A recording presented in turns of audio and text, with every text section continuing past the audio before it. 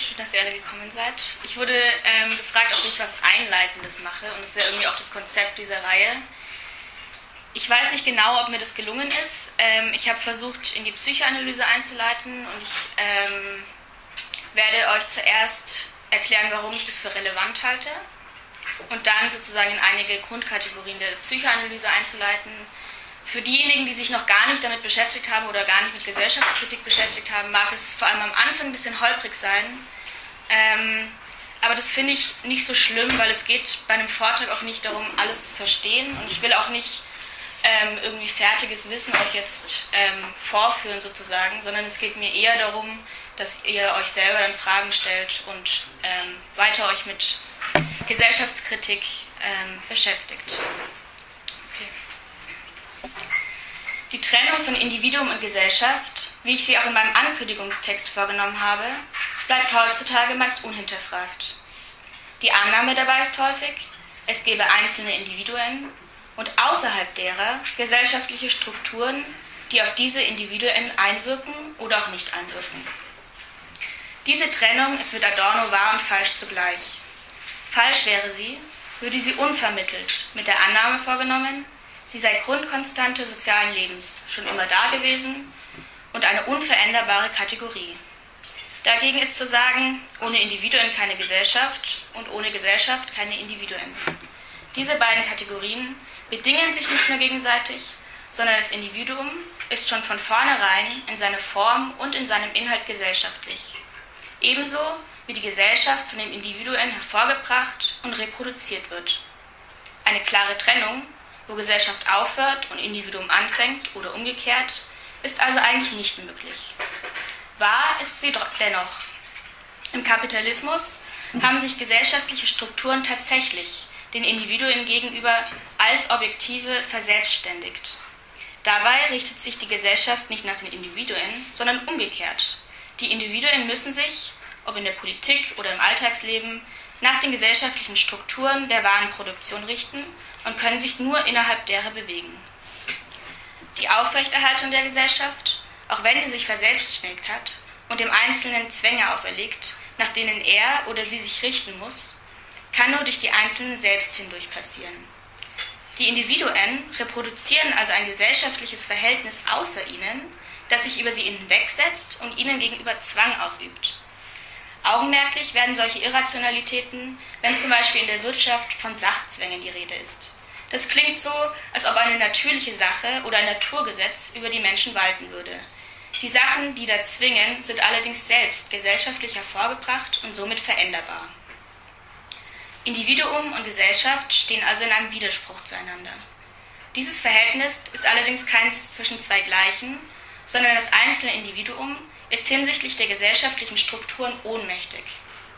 Die Individuen müssen sich dem Zwangsverhältnis der Gesellschaft unterwerfen und haben vereinzelt eine äußerst geringe bis keinen Handlungsspielraum, die gesellschaftlichen Verhältnisse zu verändern oder umzustürzen. Also wenn ich ähm, einkaufen gehe und nicht zahle, dann hat das für mich Konsequenzen und ich muss ähm, mich in bestimmten Formen verhalten, um überleben zu können.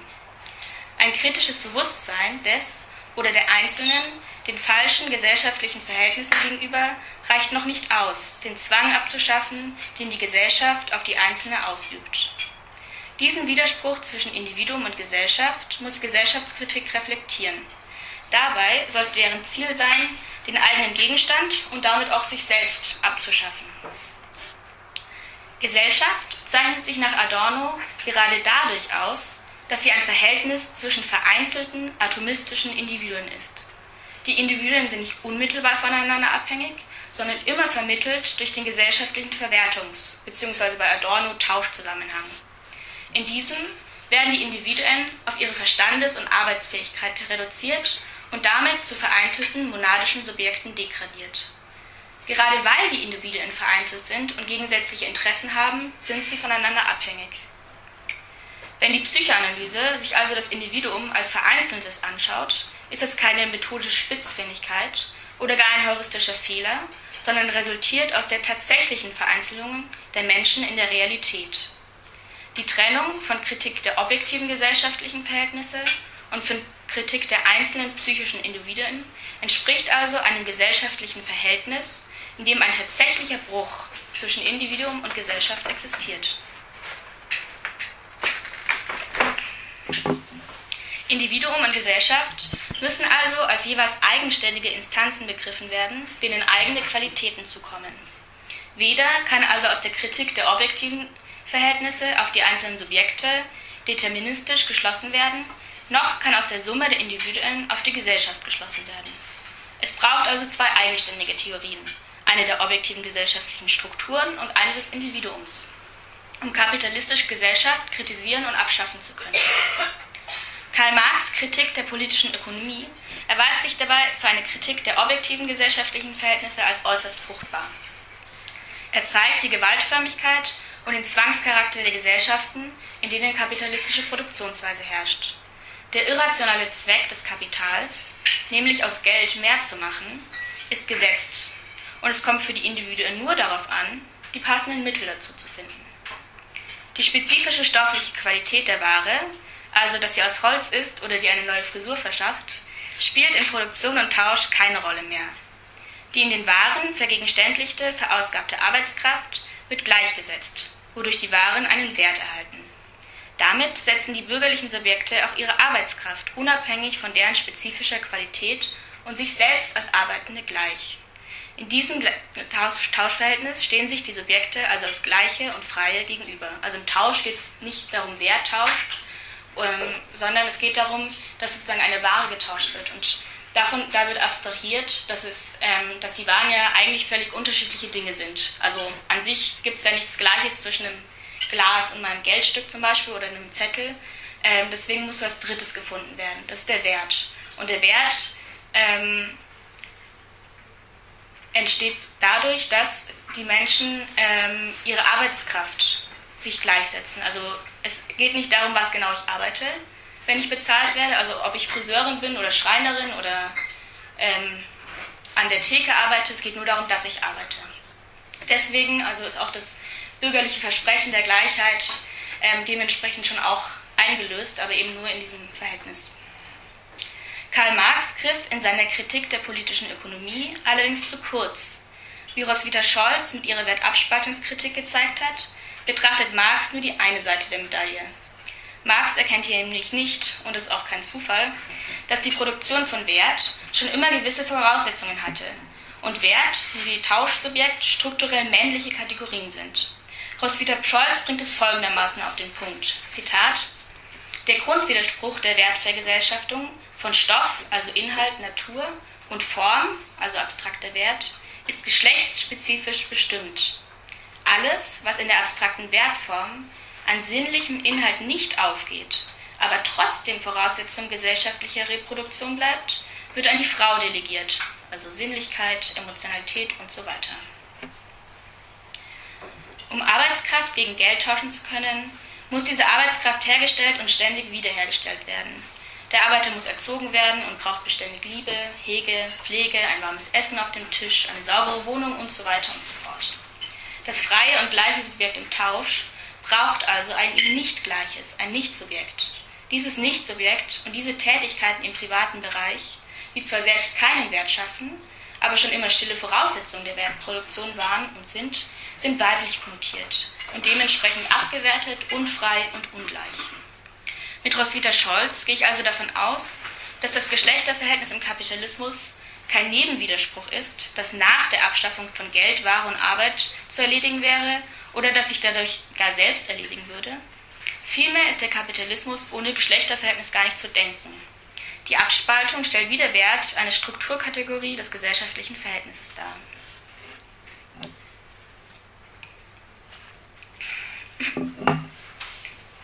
Die Entwicklung dieses Verhältnisses ist geschichtlich betrachtet nicht, wie die Volkswirtschaftslehre es uns lehren will, eine friedliche Geschichte von vereinzelten Tauschwandlungen, unmittelbar und intentional, also bewusst und mit Absicht, ähm, hin zur bürgerlichen Gesellschaft. Robert Kurz hat in seinem Schwarzbuch Kapitalismus gezeigt, dass die Individuen durch Vertreibung, Mord und andere Gewalt dazu gezwungen werden, sich ihrem Subjektstatus anzunehmen bzw. sich darum zu kümmern, dass andere dies tun können. Außerdem war der Weg hin zum warenproduzierenden Patriarchat kein intentionaler, sondern lief in zentralen Punkten hinter dem Rücken der Akteure statt. ab. Es war und es ist ihnen bewusst, dass sie mit ihren Handlungen sich selbst auf verstandes- und arbeitsfähige Subjekte reduzieren. Nicht bewusst. Und äh, also nochmal, es war und es ist ihnen nicht bewusst, dass sie mit ihren Handlungen sich selbst auf verstandes- und arbeitsfähige Subjekte reduzieren und sich das warenproduzierende Patriarchat als Gesellschaftsform schaffen. Marx sagt dazu, sie wissen es, aber sie wissen es nicht, aber sie tun es. Diese gesellschaftlichen Strukturen treten den Menschen als ihnen Fremde, als sachliche Verhältnisse gegenüber. Sie werden als unwiderruflich und unveränderbar wahrgenommen. Gesellschaftliche Gesetze gleichen in dieser Wahrnehmung Naturgesetzen. Sie sind geradezu, wie Marx sagt, die zweite Natur des Menschen. Dennoch waren es menschliche Handlungen, also Handlungen gesellschaftlicher Natur. Somit ist das Ergebnis dieser Handlungen zumindest gesellschaftlich veränderbar. Es kommt also darauf an, unsere spezifische Form der Gesellschaft und damit auch ihre Kategorien wie Subjekt und Individuum als gewordene, geschlechtliche, unveränderbare zu begreifen. Der Kapitalismus hat aber nicht nur eine abscheuliche Geschichte hinter sich, sondern das Zwangsverhältnis, in dem wir leben, wirkt Tag für Tag. Damit die Individuen in diesem leben können, müssen sie die geschichtliche Entwicklung von Zwängen nachvollziehen. Horkheimer und Adorno schreiben in der Dialektik der Aufklärung, Furchtbares hat die Menschheit sich antun müssen, bis das Selbst, der identische, zweckgerichtete, männliche Charakter der Menschen geschaffen war. Und etwas davon wird noch in jeder Kindheit wiederholt. Um diese Wiederholung nachvollziehen, kritisieren und abschaffen zu können, brauchen wir eine adäquate kritische Theorie des Subjekts.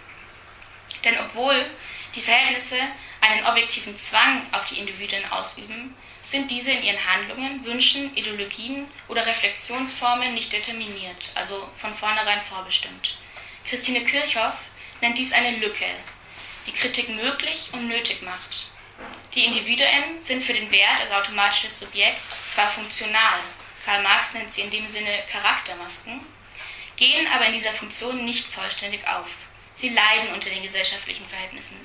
Genauso haben sie Handlungsspielräume.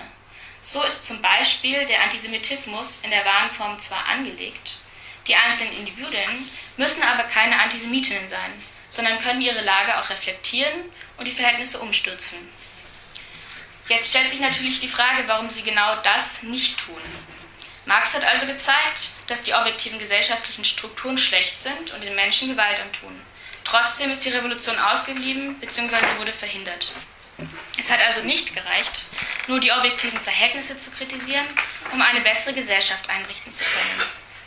Warum schaffen also die Menschen die gesellschaftlichen Verhältnisse nicht ab, die sie unterdrücken und tun stattdessen alles und finden noch die irrsten Argumente, um an dieser ganzen irrationalen, abscheulichen Veranstaltung festzuhalten.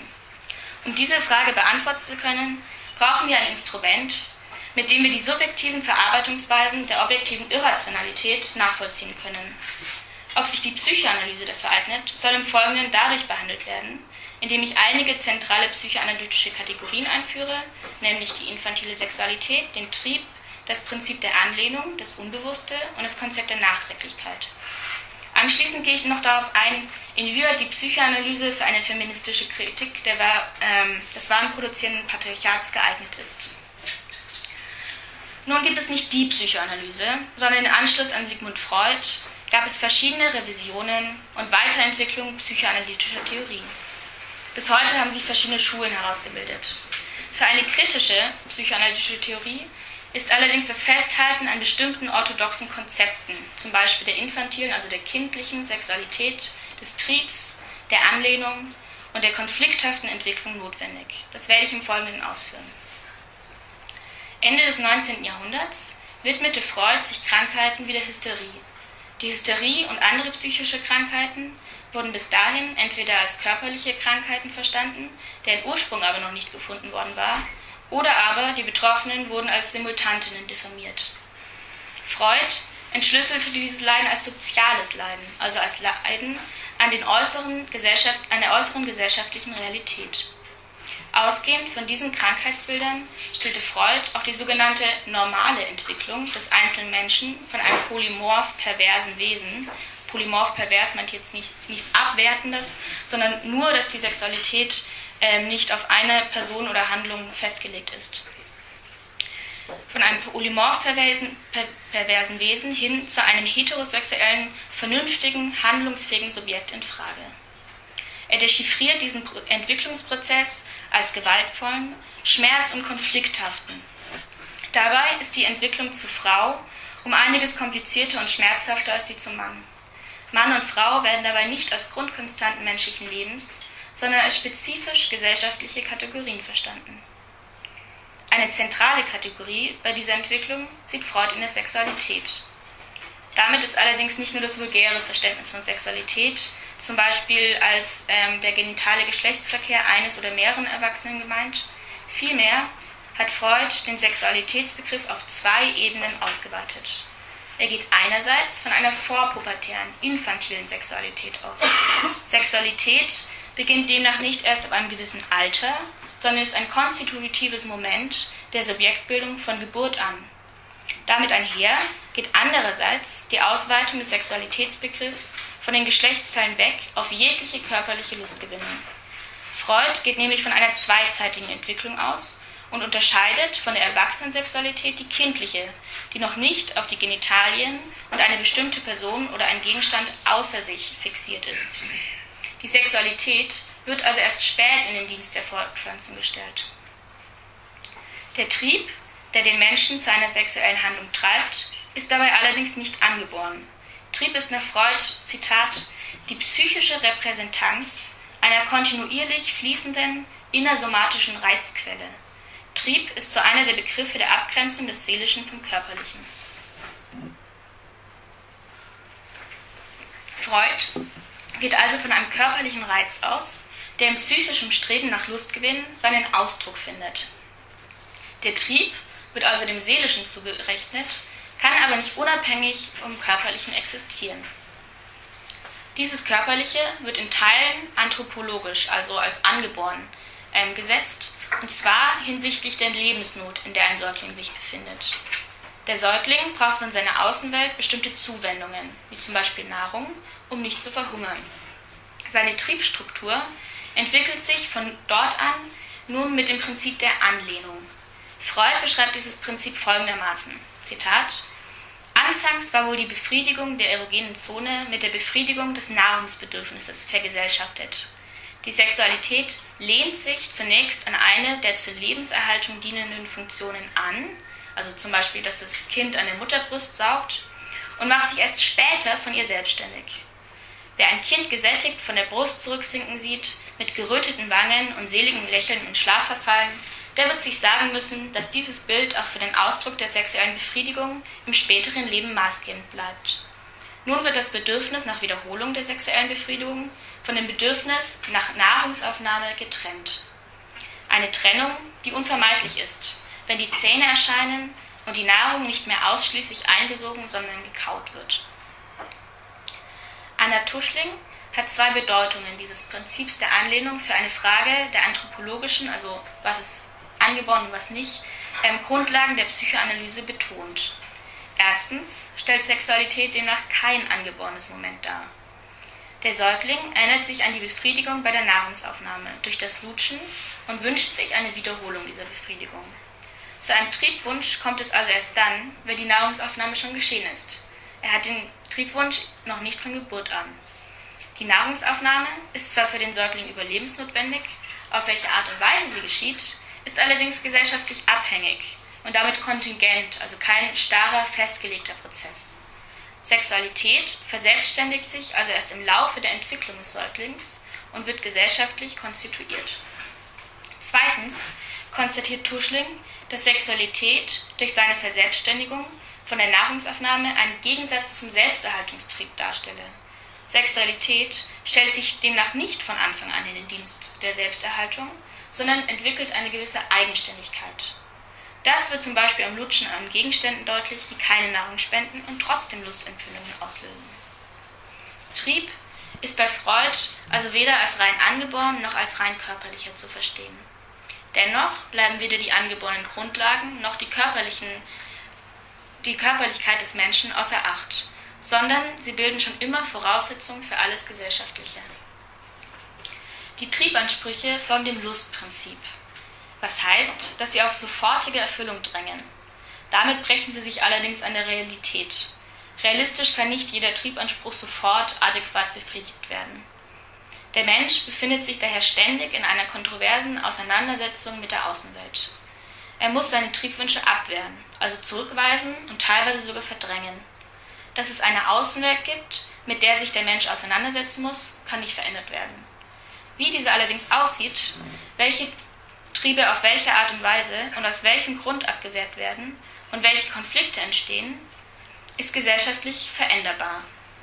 Die Entwicklung des Individuums ist also keine biologisch festgesetzte, sondern eine gesellschaftlich abhängige. So ist auch zu erklären, wie Freud, Zitat Adorno, paradoxerweise in den innersten psychologischen Zellen auf Gesellschaftliches gestoßen ist.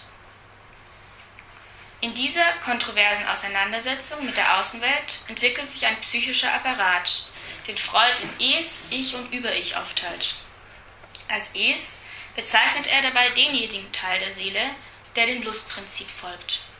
Das Es ist erfüllt von Trieben, die nach sofortiger Erfüllung ihrer Ansprüche drängen. Im Konflikt mit der Außenwelt entwickelt sich das Ich, das versucht, Realität und Triebanspruch miteinander zu vermitteln.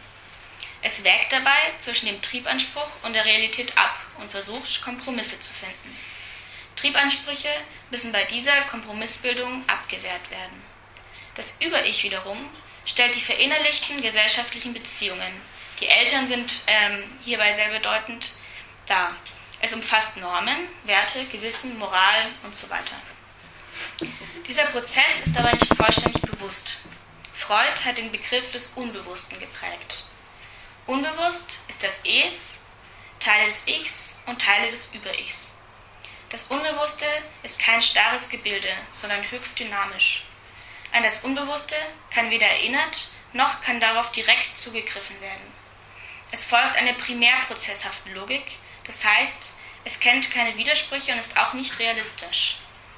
Wenn man sich den Traum, also eines der Ausdrucksmöglichkeiten des Unbewussten, anschaut, kann man eine Ahnung von Unbewussten bekommen. Also im Traum geht ja alles drunter und drüber, das ist ja nichts realistisch. Plötzlich sind es andere Menschen und ähm, die Zeit ist völlig anders und eine kann fliegen etc. Allerdings ist jede Betrachtung des Unbewussten schon immer durch die sekundärprozesshafte Logik des realistischen, vernünftigen Ichs, durch die es betrachtet wird, entstellt. Weil man ja nur einen, eine Möglichkeit hat, sozusagen, durch, diese durch das Ich darauf zuzugreifen. Das und deswegen kann man sozusagen die Logik des Unbewussten noch nicht ganz nachvollziehen. Das Unbewusste kann also nur erscheinen. Zentral beim Unbewussten sind die Konflikte, die verdrängt worden sind.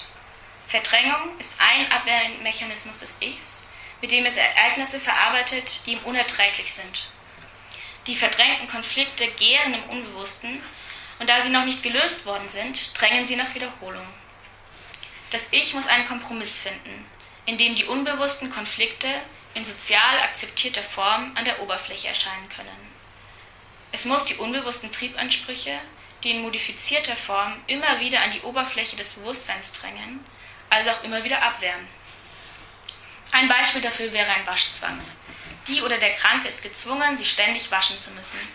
Dieser Waschzwang ist aber nicht die eigentliche Krankheit, sondern nur Austritt, Ausdruck eines inneren, unbewussten Konflikts, der vielleicht entstanden ist aus dem Wunsch ähm, nach Schmutz, der aufgrund aber der Hygieneansprüche der Außenwelt eben abgewehrt werden musste. Der Waschzwang wird dabei als etwas Fremdes erlebt das einen Zwang auf die eigene Person ausübt. Er kann dabei nicht kontrolliert werden. Ähnlich wie die objektiven gesellschaftlichen Strukturen, die von den einzelnen Individuen nicht bewusst hervorgebracht worden sind und ihnen nun als sachliche, fremde und zwanghafte gegenüberstehen, werden auch die Ausdrücke der vergangenen Konflikt, verdrängten Konflikte im Unbewussten empfunden. Der tatsächliche Antrieb des Handelns ist also nicht bewusst. Das Ziel der Psychoanalyse ist nun, statt lediglich die Symptome zu bekämpfen, also zum Beispiel das Waschen zu regulieren, die Ursachen, also die ungelösten Konflikte zu lösen. Das Lösen der Konflikte kann durch Erinnerung geschehen. Nun könnte man meinen, es gäbe ein aus früheren Konflikten entstandenes, äh, entstandenes Verdrängtes, welche die Handlungen determinieren würde. Das ist aber nicht der Fall. Bei einer Kompromisshandlung beziehen sich vergangene Erlebnisse und aktuelle Situationen immer aufeinander. Christa Rode-Daxer unterscheidet in Rückgriff auf Sandler und Sandler Vergangenheits- und Gegenwartsunbewusstes, gemäß der zweizeitigen Entwicklung des Menschen. Vergangenheitsunbewusstes ist dabei das Unbewusste, welches sich ungefähr in den ersten fünf Lebensjahren bildet. Gegenwartsunbewusstes bezeichnet die aktuell verdrängten Konflikte. Vergangenheits- und Gegenwartsunbewusstes stehen dabei in einer nachträglichen Beziehung. Vergangene Konflikte, die noch nicht gelöst wurden, bleiben im Unbewussten erhalten und drängen nach Wiederholung. Das heißt nicht, dass genau die gleichen Handlungen oder Gedanken noch einmal aufkommen. Die Konflikte suchen sich in modifizierter und für die aktuelle Situation angemessener Form Ausdruck. Dafür müssen sie noch relevant sein und ihre Relevanz in der aktuellen Situation nachträglich modifizieren, also verändern und erneuern. Das Konzept der Nachträglichkeit lässt sich, wie es auch Christine Kirchhoff in ihrer Dissertation getan hat, an dem Fallbeispiel Katharina aus Freuds Studien über Hysterie erläutern. Katharina leidet unter Angstanfällen. Es stellt sich heraus, dass diese seit dem Anblick des sexuellen Verkehrs ihres Onkels mit ihrer Cousine vorkommen. Von diesem Anblick wendete sie sich sofort ab, bekam schwere Atemnot und Erbrechen über mehrere Tage lang. Sie selbst verstand nicht, warum der Anblick sie so sehr schockiert hatte. Auf Nachfragen Freuds kommt heraus, dass der Onkel in früheren Jahren Katharina selbst gegenüber sexuell übergriffig geworden ist. Freud erklärt das Vorkommen der Atemnot und der Angst beim und nach dem Anblick von Onkel mit Cousine folgendermaßen. Als der Onkel Katharina sexuell belästigt hatte, war sie sich der Bedeutung dieses erwachsenen Sexuellen noch nicht vollständig bewusst. Erst nachträglich erlangten die Erinnerungen an die Übergriffe die traumatische Bedeutung, die sie für Katharina ab dem Augenblick des Verstehens, also als sie Onkel und Cousine beim Sex sah, gewann. Freud beschreibt diesen Effekt folgendermaßen. Zitat, sie trug damals zwei Reihen von Erlebnissen mit sich, die sie erinnerte, aber nicht verstand, zu keinem Schluss verwertete. Beim Anblick des koitierenden Paares stellte sich sofort die Verbindung des Eindrucks und diesen beiden Reihen von Reminiszenzen, also den Erinnerungsspuren an das, an das vergangene Erlebte, her, begann, sie begann zu verstehen und gleichzeitig abzuwehren. Das Konzept der Nachträglichkeit nach Kirchhoff geht dabei nicht davon aus, dass es genau zwei Zeitpunkte gäbe, einen, in der das Erlebnis stattfand und einen, in der die Erinnerung an das Erlebnis aktiviert wird. Vielmehr können sich die Bedeutungen, die den Erinnerungen an frühere Erlebnisse gegeben werden, immer wieder verschieben und verändern. Das Konzept der Nachträglichkeit geht also davon aus, dass ein Erlebnis die Grundlage dazu stellt, sich später an eine bestimmte Szene zu erinnern, so verschieden die Erinnerung auch manchmal an das tatsächliche, tatsächliche Erlebte sein kann. Dieses Erlebnis kommt nachträglich zu einer Bedeutung, indem sich an das Erlebnis erinnert wird und es mit einer Bedeutung versehen wird, die vorher noch nicht bewusst war. Vergangenes und Gegenwärtiges bestimmen sich hier also gegenseitig. Genauso muss auch die Psychoanalyse vorgehen. Nachträglich kann anhand bisher des bisher entwickelten Individuums darauf geschlossen werden, warum es so geworden ist, wie es ist. Vorausdeutungen oder Vorhersagen, wie das Individuum aufgrund einer spezifischen Situation einmal werden wird, sind daher unmöglich. Kirchhoff betont auch, dass sich daher mit der Psychoanalyse anthropologische Theorien kritisieren lassen, die von etwas Gegebenem auf etwas notwendig Werdendes schließen. Die Konzepte von Vergangenheits- und Gegenwartsunbewussten und das der Nachträglichkeit betonen, dass es nicht nur darum geht, frühere Konflikte aufzuarbeiten, sondern auch immer darum, die aktuelle Situation zu verändern. Christa Rodedaxer nennt dazu das Beispiel einer Frau, die von den mit ihr zusammenarbeitenden Männern benachteiligt und oftmals überrumpelt wird und entsprechend neidisch auf diese reagiert. Der Interpretationsversuch auf der Ebene des Vergangenheitsunbewussten ist nun der, dass dieser Neid dadurch entsprungen ist, dass ihr Bruder früher auch immer von den Eltern bevorzugt worden ist und mehr Aufmerksamkeit geschenkt bekommen hat. Diese Interpretation alleine ist allerdings nicht ausreichend, würde sie der aktuellen Situation der Frau nicht gerecht, in der sie ja tatsächlich benachteiligt wird. Mit einbezogen werden muss immer das Gegenwartsunbewusste. Die Frau wird aktuell benachteiligt. Es handelt sich um einen aktuellen Konflikt, der den Neid auslöst. Mit Christine Kirchhoff könnte man jetzt sagen, nachträglich wird der Konflikt um den Neid auf den Bruder aktiviert und in der Erinnerung daran modifiziert, weil er in der Gegenwart relevant ist. Es muss also einerseits dezidiert feministisch die soziale Situation geändert werden und andererseits die Bedeutung des damaligen Konflikts für die Frau aufgearbeitet werden. In feministischen Diskursen ist die Psychoanalyse und vor allem die orthodoxe Freudsche stark umstritten. Freud wird vorgeworfen, dezidiert antifeministisch und biologistisch zu argumentieren. Anatomie ist Schicksal hinsichtlich des Geschlechtsunterschieds ist dabei einer der am meisten zitierten Sätze Freuds. Außerdem wird darauf hingewiesen, dass Freud von Anfang an die Menschen in männlich und weiblich aufteilt, abhängig von Besitz bzw. Nichtbesitz eines Penises. Er geht davon aus, dass beim Anblick des Penis das Mädchen sofort den negativen Schluss zieht, dass es selbst keinen hat, obwohl es doch um das weibliche Genital weiß und diese Differenz erst einmal neutral oder auch gar positiv auffassen könnte. Freud behauptet also, das Mädchen komme automatisch auf den Schluss, dass ihr etwas fehle und dass sie biologisch benachteiligt worden sei. Durch die Stimulierung der Klitoris kann, so behauptet Freud weiter, das Mädchen nicht so, viel Lust, nicht so viel Lust gewinnen wie der Junge durch die Betätigung an seinem Penis. Das Mädchen beneidet den Jungen daher um sein hochgeschätztes Glied, entwickelt also einen Penisneid. Freud selbst gibt zu, dass das Weibliche selbst nach jahrelanger Forschung für ein Rätsel darstelle es hat ihn nicht daran gehindert, verschiedene Behauptungen darüber ähm, aufzustellen. Er geht daher auch immer erst einmal vom Jungen aus. Der Geschlechtsunterschied zwischen Mädchen und Jungen wird also erstens rein am Penis festgelegt, zweitens biologisch fundiert und drittens wird eine angeborene körperliche Hierarchie, der Penis ist lustspender als die Klitoris, behauptet. Kein Wunder also, dass Freud bei diesen frauenfeindlichen und falschen Argumenten den Feministinnen nicht sonderlich sympathisch war und ist. Der Vorwurf, die Freudsche Theorie bringe patriarchale Strukturen hervor bzw. befördere sie, ist also richtig und notwendig. Nun stellt sich allerdings die Frage, warum Freud solche Auffassungen vom Geschlechtsunterschied hatte, denn ganz vom Himmel gefallen sind sie nicht. Wenn man sich nun die Realität des wahren produzierenden Patriarchats und die Lebensrealität der darin lebenden geschlechtlichen Menschen ansieht, hat Freud doch recht. Die Kategorien Mann und Frau werden tatsächlich am Penis festgemacht. Klitoris und Vagina werden eher als Nicht-Penis, denn als eigenes Geschlecht angesehen. Das sieht man zum Beispiel bei so ähm, Entscheidungen, wenn es nicht ganz eindeutig ist, welches Geschlecht ähm, eine Person hat, dann ist oft der Fall, dass sie halt ähm, zwangsweise in ein, ein, eine der Geschlechtskategorien gesteckt wird und das wird eben zum Beispiel abhängig gemacht, okay, hat die Person einen Penis, dann ist es ein Mann und wenn sie keinen hat, ist es eine Frau. Ähm,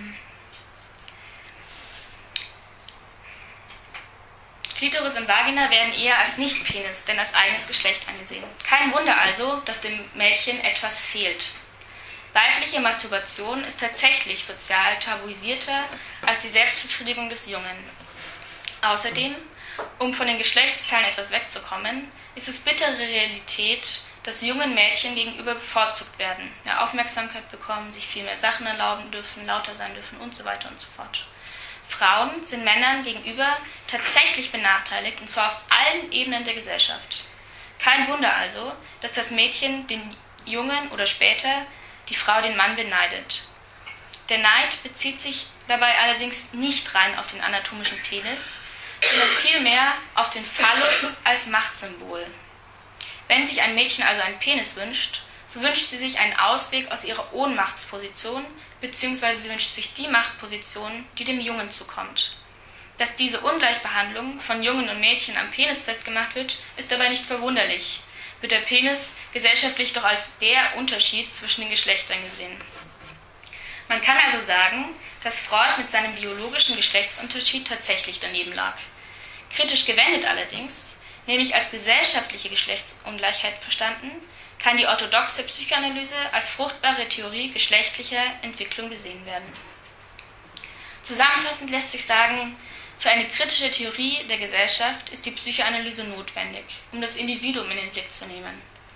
Wichtig ist aber eine kritische, feministische Lesart der Freudschen Theorie.